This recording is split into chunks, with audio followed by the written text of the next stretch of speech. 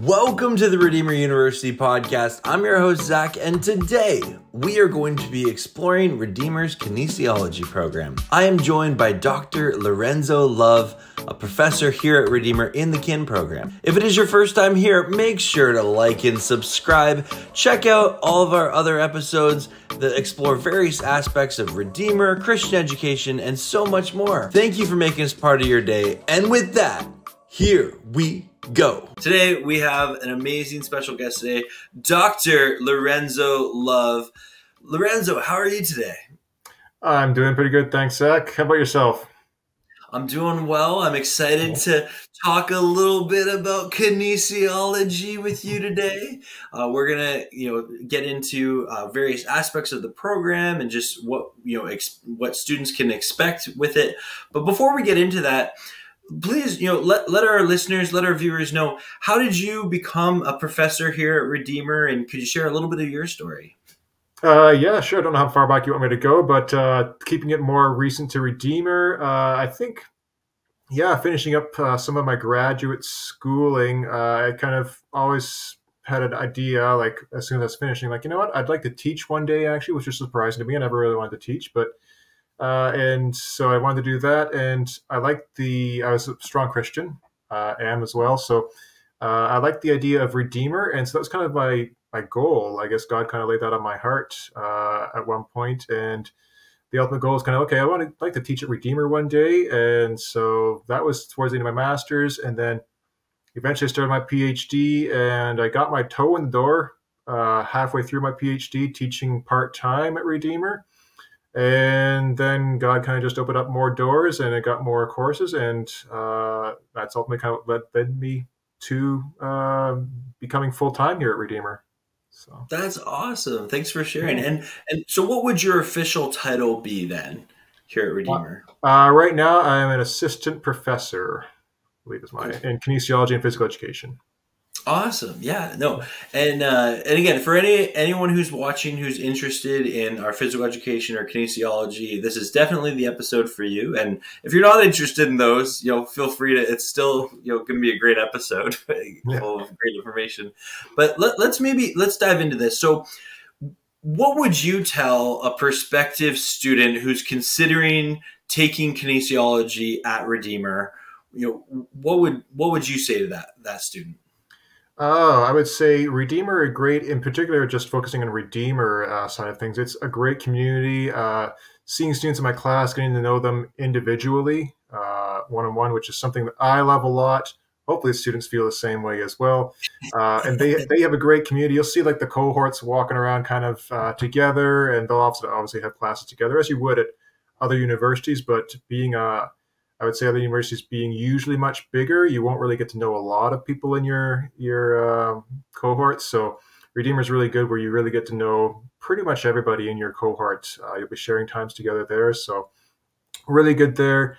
Um, it's nice. I think it's a nice thing that uh, students will get to have the uh, kind of just a small group of professors teaching them a bunch of courses as well, where you really get to know the professors, they get to know you which is especially important uh, later on if you graduate when it comes time for writing reference letters uh, for students, where students will uh, sometimes, for especially for grad school stuff or even jobs as well, whatever it might be, lots of things there. Uh, you, you might need a reference letter, and so reaching out to a professor, and since a redeemer will know you probably quite well, we can actually write a lot more of a personalized one to you. Uh, so that's an advantage there, I would say, and yeah, I would still say as well, like uh, our, our kin program very strong uh, as well. It's been really been growing over the last uh, few years actually too, which is we got a big influx this year as well. We saw as we met with some of the first years, so uh, really encouraging there. So I think that's some of the things I might start off sharing, and then just Redeemer community stuff. You'll get to figure that out too from lots of other sources. But yeah, it's it's great and I'll, I'll, just give a quick plug. That we do have a couple of episodes specifically focused on the epi- uh, on the Redeemer community. You can go check those out after this episode. But mm-hmm. uh, that being said, so you kind of touched on it, and could you maybe you know unpack this a little bit more? What would be kind of a major difference uh, studying kinesiology at a Christian institution like Redeemer as opposed to a, a secular public institution? Oh yeah. So yeah, I went to a secular institution for my uh, undergrad. Well, actually, all my studies, I guess, was all secular institutions that I went to. Um, and so yeah, with there, obviously, if you're a Christian, which presumably you probably are if you're considering Redeemer, but if not, that's fine too. Um, you're not going to have kind of a, a, wholesome approach like you would get at Redeemer. Uh, I would say that. So I mean, Redeemer, you will hear about the core course as well too, which is really good for kind of getting that uh, worldview of uh, seeing how God has created things and ordered things, uh, and lots of other things as well too. You learn about that too, and focusing a bit more on kinesia uh, in the kin area as well. Uh, yeah, that's something that we will focus on too. Obviously, uh, I love being able to talk about my Christian faith very openly in the classroom. So, getting to see kind of a hopefully a focus uh, on the idea of like, okay, the kinesiology, you're studying how the body moves, and uh, God has created our bodies. So, kind of trying to focus as well on kind of the reformed uh, tradition of like creation, fall, redemption, restoration, that theme, trying to keep that pre- uh, prevalent throughout uh, your courses and time at Redeemer, especially in kinesiology, where it's studying, okay, like, how has God made our body? Okay, what do we have to do? What's the fall look like for the body? Uh, whether illness, sicknesses, and deterioration, whatever it might be, versus redeeming it and restoring it. Um, and so, trying to keep a nice focus, a Christian focus uh, on that sort of thing going throughout it. Uh, I would say that's probably one thing that we strive for uh, in kinesiology. And same with other programs too, but kin, we're specific to the body and how it moves. So yeah. I, you know, I, I once had a, a, transfer student come to Redeemer and he said something that stuck with me. He, he had studied kin specifically at another institution. And he had said that the main difference that he experienced is so at his other institution that was not a, not a Christian school, he studied, you know, the bone structure, muscle tissue, you know, how the body works. But at Redeemer, he learned all those things, but he also learned you know, in addition to that, how God designed the body to work. Yeah. And and learning about how cells repair and things like that, and just I thought that was that was a, great you know illustration of the difference between what Christian education can be as opposed to a secular education uh, here at Redeemer. Absolutely, yeah, that's a great example right there, Zach, of what we'd be trying to do at least there. Of like, yeah, keeping the focus on like, yes, you're learning all the stuff about the body, but going out beyond just what the body is as well too. I mean, Kin's nice uh, in the fact that you know we've got kind of a broad uh, spectrum of things that you'll learn, but from anatomy to physiology to motor learning to uh, psychology, um, exercise physiology, training, uh, exercise training, that is. And so a bunch of things like that. And then just kind of trying to lump, bring together as well the kind of the whole body as well. It's the body isn't just the body. I mean, God has created it. And so how are we uh, to redeem that? So yeah, I, I love that love that example actually. So yeah, and and kind of on that note, do you have any examples of you know some students that you've worked with uh, that you've kind of seen them grow from you know year one to year four in just their understanding about how God designed the body to work? Ah, yeah, that's a good question. Uh, so with my, I mean, yeah, I've been here, uh, I guess, a number of years now. Uh, the first few were part time, and then I got to full time uh, after that. Most of my classes, I think, pretty much all my, yeah, nearly all my classes are second and third years. So I see them kind of in the middle of the time. Uh, yeah, I guess I'll see some in the fourth year as well. That's that that can happen too. So I, I don't often see them in first year though, uh, and so with that, I don't see a big broad spectrum there. Plus, I got to account for the fact that most of my full time schooling has been during COVID uh, as well. Yeah. So I have unfortunately not seen, uh, j- not to say that it doesn't happen. I believe it does happen, but for any personal stories in that regard, nothing is coming to mind right now. But I'd say probably a lot of that's just to do with the fact that you know what, I I was here during COVID, and so uh, what kind of uh, changes have I been able to really witness in students as well? Uh, so unfortunately, yeah, I can't think of anything in particular, but it is so great. I mean, I'll, I'll speak to kind of like just convocation at the uh, so after students graduate and hoping to see them back for convocation as they get their degrees. And it is it is great to see them, and I just love seeing them actually. They've accomplished this, and I, I mm-hmm. fully support like all the work that they've gone into uh, accomplishing that, and so uh, loving that. And it's also sad as well too, where like, man, I've I've known these students for like at least three years, perhaps as many as four years uh, of all their schooling, and now they're kind of gone and gone out to the world, which is great to see. And like, I pray God's blessing over them. Uh, but it is sad. Like I've, I've known them so much that I feel like I've got to really know them, and now they're gone. And so it's yeah, it's it's quite sad as well. Uh, every convocation, but at the same time joyful as well too for what God's got in store for them as well. Yeah, and and you know, thanks for for sharing that. And do you have any examples of some of the opportunities that some of Redeemer graduates have gone on to to you know to do in their professional life? Oh yeah. Uh, so I've only gotten to know probably just this past year at convocation. I, I make an effort to see every one of the kinesiology or phys ed students that I've had over the over the years um, that they've taken uh, kin or phys ed at Redeemer.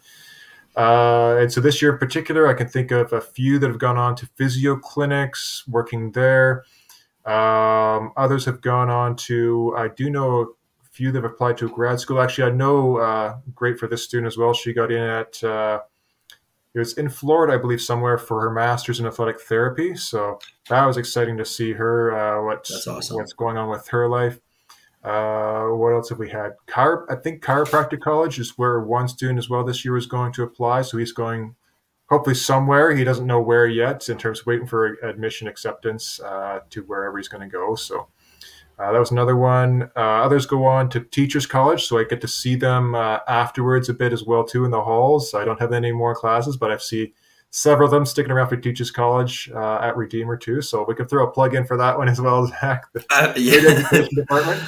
Yeah, that episode is not up yet, but it will be. It will be. It will be an episode for our teachers future, college future program. Yes. uh, so yeah, um, I'm trying to think. Uh, uh, there's been others as well too. Uh, I can't think of anything right off the the cusp, but uh, yeah, no, it's it's great to see and trying to keep track of where those students are going is yeah, it's exciting. Yeah. Definitely, and and so going back to and I I, th- I feel like it's so easy to talk about like the opportunities that a kinesiology or physical education degree can present you afterwards, but what about during your degree program? Uh, you, you kind of touched on how students get really, you know, they get to know their professors, they get to know their fellow students really well. I know when I walk the hallways, I see, you know, the kin students, you know, studying for an exam or a test that's coming up. But could you speak, what is that experience like for, you know, a kinesiology student or physical education student at Redeemer? Um, so studying part or other things beyond. So, sorry, I should have been more specific. More so the academic nature of it. Like, what kind of workload can they expect? Is oh. it mostly tests? Do they write a lot of essays? Ah, I see. Okay, yes. So with that, um, so in the courses I teach, I try to keep it. We we I guess each of us professors tries to keep it relevant to uh, what is best for that particular course that they're in. So uh, I think of uh, anatomy. I taught that for one uh, semester at least. I don't have that opportunity for one semester. Um, but yeah, focusing a lot on just kind of that one. I never like to say memorization, but honestly, for anatomy, that's probably what it comes down to is just kind of memorizing all the parts of the body. And so that's kind of the focus, and we'll kind of keep that on uh, through frequent testing uh, in, in that particular course. Moving on to uh, your second and third plus years uh, as well, you get into the lab experiences, which is really great. I mean, yes, you'll have that at other secular institutions as well too, but here at Redeemer, we keep our labs sections as small as we can, at least, so you really get to experience things. And so I remember my experience at a secular institution and a big lab of like 20 plus students, I think it was, and you only got to have maybe uh, one time of all your lab sections throughout the year where you actually did the experiment yourself, whether it's a VO2 max test or Wingate test or whatever other, other things that go on. Whereas here at Redeemer, you've got your opportunity to actually experience things yourselves, which I would encourage students to do. That's how you're really going to learn and get an appreciation for the body God gave you. Uh, so that's, I think, a big thing as well. So there'll be lab sections with little lab assignments is what I do for my students as well So it's usually assignments. So there will be tests as well. Um, in terms of essays, there's not too much in kinesiology with essays. There will be a few, uh, mm. but it won't be heavy there. So uh, I'm not too sure. Dr. Sinden, uh, I'm not familiar with. Well, I'm not familiar with uh, Dr. Sinden or Dr. Morose's uh, courses as much and what they exactly do in there. But my guess is Dr. Sinden, she probably might have an essay or reflection paper, uh, especially in some of her upper year courses as well too for a student. So that's a great thing. I'm sure the students don't like at the moment, but it is a great reflection for them to actually think about, you know, how does this apply to them personally, perhaps, or other topics like that. So there will be those sorts of things. Um, and yeah, just, uh, oh yeah, I think of uh, other lab assignments like formal lab reports as well. So getting familiar with scientific writing, uh, basically is what I would say to that one as well. So uh, there'll be, yeah, a plethora of uh, things and it'll just be geared towards however best helps us get across the information and testing of that information that we uh, can for our individual courses, whatever relates best there, I would say is, I think that's kind of, yeah. And yeah, I would say again, like there's a lot of kind of, I find self-reflection in some of the courses I know, uh, you have to assess yourself for whether it could be a fitness thing or a nutrition thing or like dietary nutrition thing or whatever else it might be. So. Yeah. Awesome. Yeah, no, you did a great job summarizing that. Right. and you know, I I'm sure there's a lot more to it and uh, you know, oh, yeah. there there's if anyone's watching and you know you're hearing this and you want to know more information, feel free to check out our website redeemer.ca uh, or you can email us at admissions at redeemer.ca and we're happy to connect with you uh, to provide more information. And even if you come for a visit, you you know maybe you meet Dr. Love in person. I'm sure I can uh, I can safely say you you don't mind talking to prospective students that have questions as well. oh, I love it. I love it. Yeah. So, just one final question is what would you say your favorite thing about Redeemer University in general is? Uh, I would say probably the the community for sure. I think, and kind of like the, the small size or the smaller size of Redeemer, it's growing, which is awesome. Uh, the smaller size compared to other institutions where you get that community feel, you can more easily experience it. You're not overwhelmed with, oh, there's tens of thousands of students here. No, we've got a smaller community there where you can actually get to know everybody. Uh, so that community, uh, which allows for good fellowship, and so obviously building of each other spiritually as well. I think uh, that's probably what I, I, think of most when I think of Redeemer. Um, there, yeah, I think that's a summary of it. Awesome. Well, Dr. Love, thank you so much for coming on the podcast today. And, uh, you know, I, I, look forward to, see, to talking to you in the future, and we might have to have you on another episode. thank you so much, Zach. It's been a pleasure. We hope you've enjoyed this episode of the Redeemer University podcast. Thank you again to Dr. Love for coming on and giving us insight into Redeemer's kinesiology program. If you would like more information on Redeemer, please check out our website, redeemer.ca, and you can always connect with us by email at admissions at redeemer.ca if you're interested in applying. God bless, and we'll see you in the next episode.